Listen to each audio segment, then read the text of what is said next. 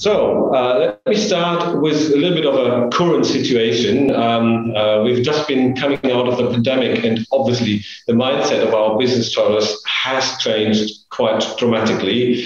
Uh, it's not about why to travel; it's rather about how to travel nowadays. And during and post-pandemic, we experiencing turbulent times, especially recently with the steep pickup of bookings and uh, the desire of our travelers to uh, go, go to places again. And the processes, especially in corporate travel, have changed during the pandemic, and uh, we do now really see the impact of everything. To give you some examples, our consulting efforts actually have doubled um, uh, now after pandemic, and uh, our phone calls take up to three times longer than they used to do. So, Christoph, let me ask a question. From your perspective as VDR president, how do you see the developing in the current situation? Uh, first of all, hello, Franz. Hello, Sabine. Uh, hello, everyone. Thanks for having me here uh, for this uh, interview or for the session today. Um, uh, you, you, have mentioned the mindset of the travelers has changed. I, I, don't think that the mindset of the travelers has changed, but they have more questions than before.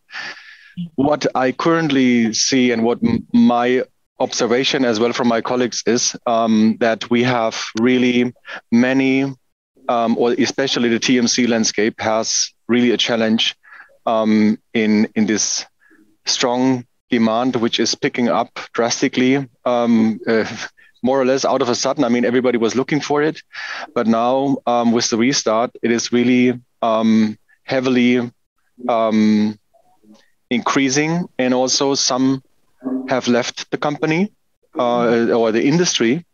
Um, and some were still on short work uh, so they need to to come back to the office. Some have worked from home over a couple of um, months, almost two years, and um, and now to get familiar with, let's say from from zero to one hundred. Yeah, um, this is is a challenge. Yeah, and this is um, what I hear from the whole TMC industry. Um, that is extremely uh, challenging times. Uh, a lot of complaints, which doesn't make it also any better. I mean, I personally have understanding um, for the for the industry. Um, the travelers don't. Um, on one hand, they understand, but they have a demand and they need to fulfill. Uh, this demand needs to be fulfilled. That's really an absolute challenge, and I would almost see it as a call for emergency at the moment. Mm. Very good answer. Thank you so much, Christoph. And we can see some significant changes in the industry, like approval processes or opening the booking engines. And what do you think, Christoph? What are the significant changes for the business traveler or the travel manager? what are the significant changes? I mean, uh, the good thing is uh, we don't have this approval process anymore because uh, with this demand picking up um, as it is, um, it would be really a challenge. Um, but uh, I mean, we have we have different roles. Um, the, the, the role of a travel manager itself became more complex over the past years. Um, we are also interface manager. Uh, we are responsible for the booking tools, but um, at the end of the day, we are also uh, procurement guys. Yeah? This means um, we have to make sure that um, we get good price um, or at least fair price for, for value. And that's a challenge as well because we see increasing prices everywhere. On one hand, based to um, or based on the current situation, what's going on in the Ukraine um, which is, by the way, to be honest, much more uh, dramatic uh, compared to all the, the things we have to deal with. Um, and also, on the other hand, a very simple thing: uh, most of the um, the suppliers really haven't had so so much income over the past two years, um, and, and now they need to pick up to survive. I mean, um, that's uh, mm. economy of scale. Um, what we are currently seeing. So we need to balance out a little bit um, having at least stability in the prices um, and to reduce the increase as much as we can. But also, we have to guarantee um, that our travelers are uh, safe um, while they are traveling. It's a challenge for the whole industry in the moment, and thank you for your kind words and from your perspective um, from VDR side. Mm. That's very yeah. good point. Thank Thanks you. for that. Uh, Christoph, um, you touched on quite a few topics which uh, yeah, came out of the pandemic situation and uh, lots of things have changed. One thing you didn't touch, uh, which uh, I think is also important, is the sustainability uh, topic, which kind of during the pandemic was kind of wiped away and we were managing the crisis uh, so called. But um, yeah, the sustainability uh, topic is uh, definitely still a, a, big topic for us at FCM uh, and surely also for all our customers. And we do start to get uh, new requirements and questions when it comes to uh, sustainable travel. And there are lots of initiatives uh, on its way. Um, but we at FCM, uh, we don't see sustainability, and that's why we separated uh, separated very uh, uh yeah big. Um, uh, since it's not a crisis, it's rather a sustainable uh, impact, which will have big impacts on the industry as well, on top of what we've just talked about. So um, we've also actually created a white paper. The audience is invited to download this from our webpage. But uh, sustainability is a big topic. Christoph, how do you see this topic, sustainability? Has sustainability arrived in the companies? Uh, definitely. It is not new, by the way, because um, a lot of the companies um, were working on this since uh, some since many years, um, but at least uh, since the last couple of years also with the VDR um, in 2020 was the year where we said um, we have to take care for the sustainability. So we had a slogan also for this um, for this year. Um, but then the uh, pandemic situation uh, came in and stopped these activities, or at least we could also say it supported it very much, um, because as no one was traveling, um, I mean, if if someone had a sustainability target for business travel, I think everyone has achieved it over the past two years. Um, so that's not really new, but now it comes with with really an, an impact. Yeah, and there's also um, um, now a, rule from the EU at least, uh, which um, requires companies above 500 employees um, to to show a, a, report every year what they are doing in regard to sustainability. They have to create sustainability goals. Um, um, and I think it becomes mandatory at least from 23 or 25. I would have to, to look into this. So everyone is working on this. Mm-hmm. Yeah. So not, not new. Um, and, and also, I mean, when you have asked me before, um, what would be the situation um, after after Corona? Will business travel be the same as before? I would have said um, yes, it will be uh, the case uh, after after Corona. Um, but now with this uh, on top with the sustainability activities, which comes obviously with pressure now in the companies. Um, and I think this will have a, a bigger role um, in, or has a bigger impact in the future on the reduction of, of business travel. But before I come to another point, which have maybe an, an, uh, an impact on the other direction, um, the challenge what um, most of the companies currently have is where do I get the figures from? And even when I have the figures, does it mean is it good or is it bad? Because it's it's it's new. Yeah. Um, do I have now to put all my employees into coach class on long distance trips because uh, it's less carbon two footprint? Um, do I have to put them all on non-stop? I think the, the, the right way is something in, in between um, to manage it. But first of all, they need to have the data, analyze the data, and need to understand what to do with it and how you can have an effect on this. So this is really the, the biggest I would not really see it as a challenge because numbers are there. There are companies who can support here, but um, making this visible, this is for me more the, the biggest challenge. And the the, the rest is for the uh, it's it's like a little bit with um, if once you have numbers you can create goals targets um, also we are thinking here besides the the budget that you have not only the money budget that you have also maybe for a department a carbon 2 budget so this could be at the end of the year uh, you might have still money, but your carbon two budget is gone. Yeah. So, um, but this is in the uh, how we say in the in the kinder shoes. Yeah. Um, we have to to see how this uh, turns out. Um, for for us, it was here at least not such a big challenge because we are tracking our carbon two footprint of uh, the company I'm working for since 2008. So we have already a good good overview and also to see how it goes goes up and down. But on top of this, there might be now another effect. Um, sustainability, by the way, is for um, most of the companies who are production companies anyhow something of utmost importance. And the focus is for sure on their production side because this is usually the biggest emission part. If you are not a consulting company or an IT company um, where travel has definitely a big impact, um, they have other things to work on. Of course, travel also.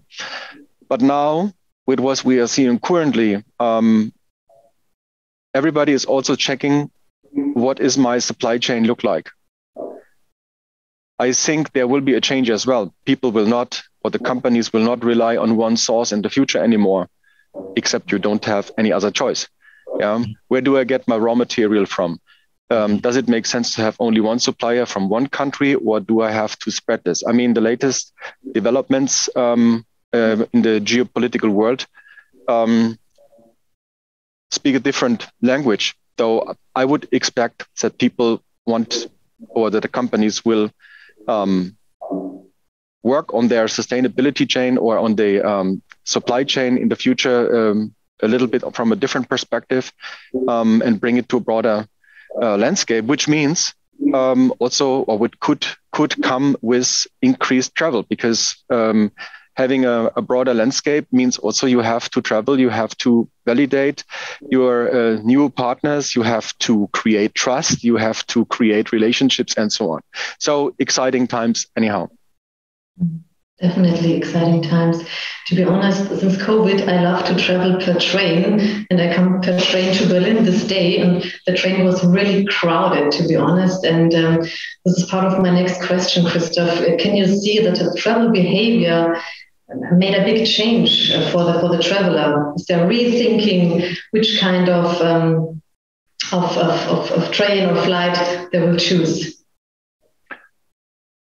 If this is really uh, depending on train or flight. I think the, the, the bigger the bigger change is is um, at the moment at least that people really thinking, do I really have to travel? So this is the first question, um, and do I have to travel for just one meeting for an hour or two? I, I don't think so, and I think also which is good, it is accepted um, also on the the other end that you are just joining via video conference um, and also with, with all the, the technical improvements over the past two years, it's easy to join. Um, and it's also accepted. Maybe not the initial one, but if you are familiar and know each other, um, I think people would try to avoid uh, a travel behavior like this. So that's that's um, on one hand the, the bigger change, and also maybe they combine uh, the travels. Don't go for just one trip. Maybe they combine one, two, uh, trips.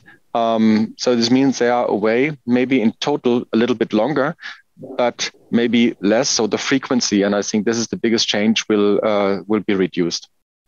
And depending on taking a flight or train, um, I mean, if you have really managed it properly in the past, you should have always decided what is the most efficient way to travel.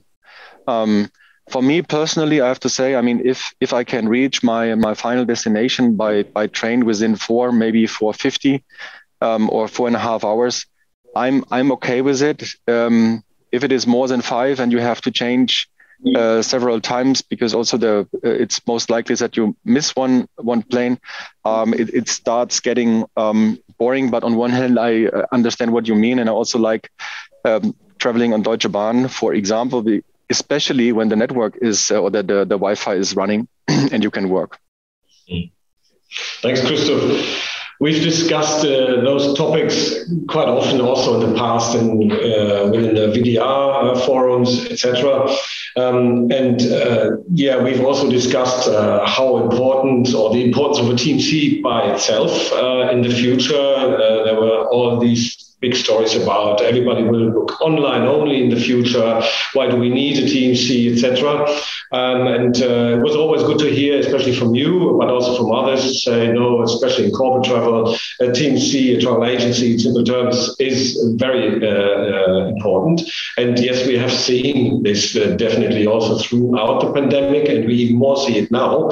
Such a strong demand, and I referred to it earlier, um, the, the time uh, which is needed to service our customers, the questions our customers have nowadays is crazy, yeah, and especially when it comes to rebooking, servicing bookings, cancellations, etc. When you get stuck, you just reverted to that as well. You miss your train is uh, definitely um, the answer to this, and uh, my, my view on it is it doesn't scare me uh, whatsoever. Um, rather the other way around. I do see opportunities to actually work way closer with our customers, yeah, and support them in process, in servicing, in helping them on business trips.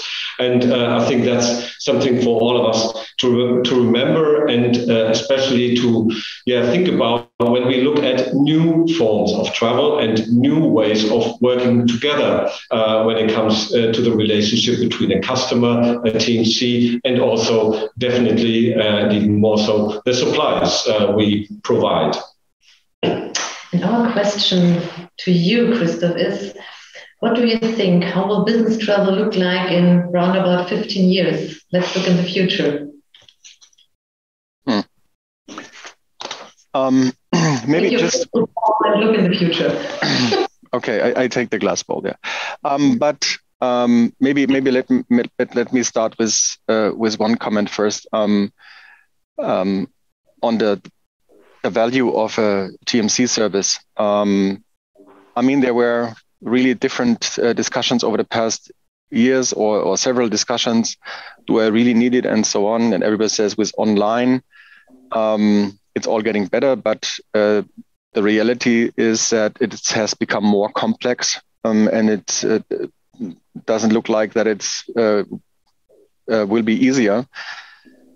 So you need to have at least someone um, who finally can help you answer a phone and um, uh, for me, it was really also a pity to see that this kind of service, which I found is a absolutely extremely um, uh, valued service, for, especially for our employees, because we are not dealing here with our products and goods or boxes.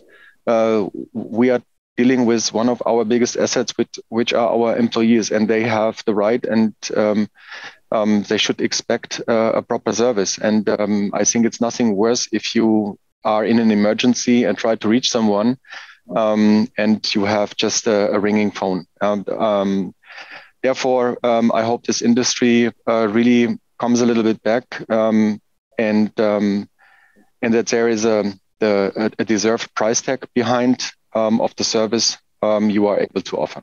Okay just to to let you know. Um, maybe you don't like this um, um, because uh, I mean the, the, the whole price development was only going going down. Um, and um, by the way, I would be happy to to pay uh, for the TMC services a little bit more if the TMC is able to help me to bring um, the rest of my uh, travel costs down. But that's a different story. So room to for improvement.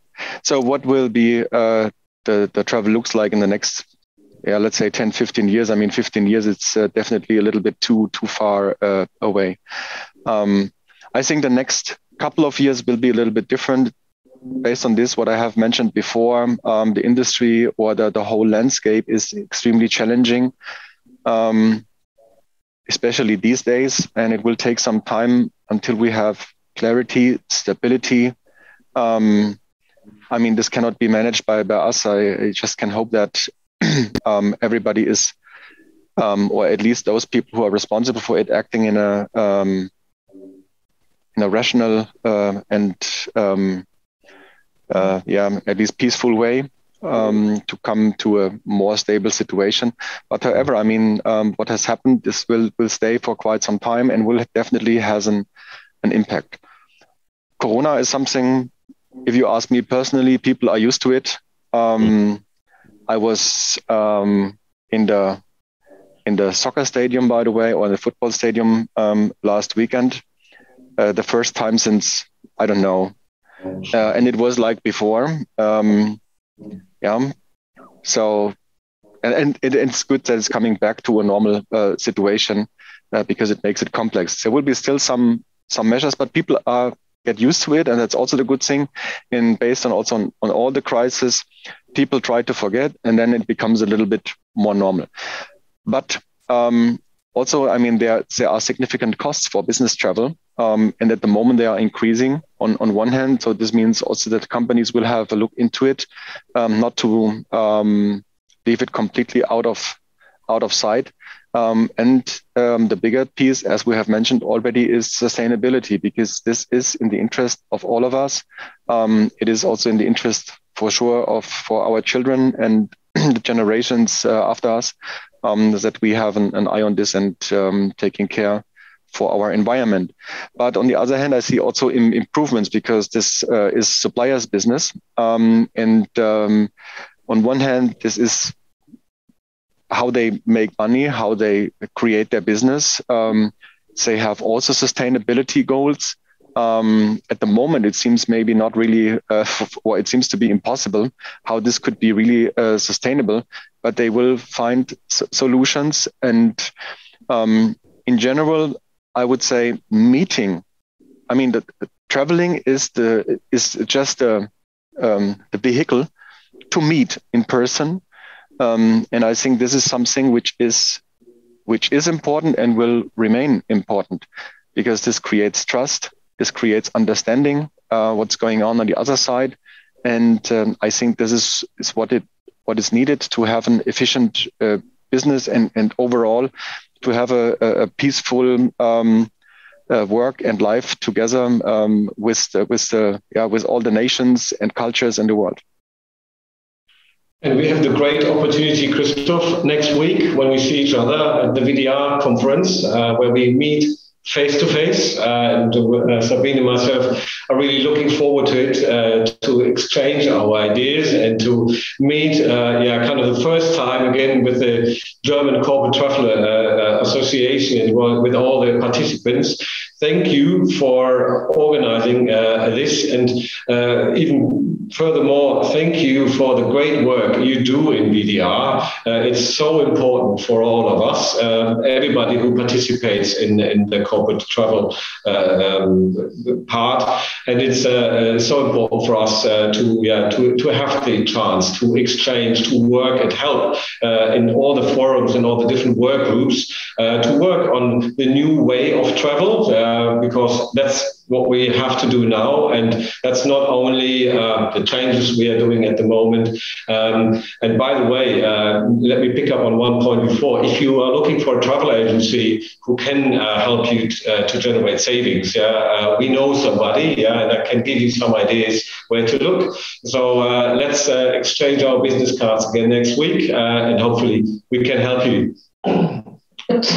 come back to the VDR Association, Christoph. Um, are there any points um, where we can help from a TMC perspective? So I love the cooperation with VDR and thank you so much to you and to your great colleagues. It's always a pleasure to work with them. But are there any things from our perspective we can support the VDR?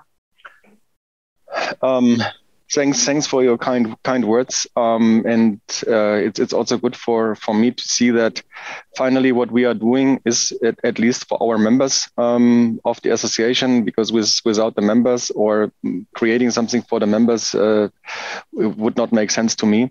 Also i think it's an added value that we uh, bring together here corporates and suppliers on one hand because um, my my personal um, way is that we, we can only be really successful if we work together um, uh, and not uh, everyone in a, in, a, in a silo because everyone has ideas.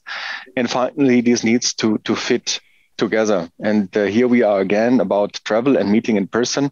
Bringing people together is what it is worth. Um, for uh, for working on this, um, yeah. What you can do, I mean, we have the different um, teams at the moment, um, or the um, what is the exact name task force yeah um, it's uh, currently it's vdr next Um, before we had uh, the, the, crisis team to get uh, back to, to business after Corona, which was already helpful um, to share insights, but also to share options, possibilities. And with this next, um, I think we have uh, more than 100 people participating in the different um, work groups. And um, I will be it will be interested to see also um, it comes now to the to the more sustainable uh, solution what the outcome will be because this is also for our members that they have an ideas that they get ideas uh, maybe some guidance how to act and and how to move forward so I have no more questions from my side. And uh, I haven't. Uh, Christoph, thank you so, so much uh, for your time. Um, that was very uh, informative and very interesting to hear your view on pre, during, and post pandemic uh, situation.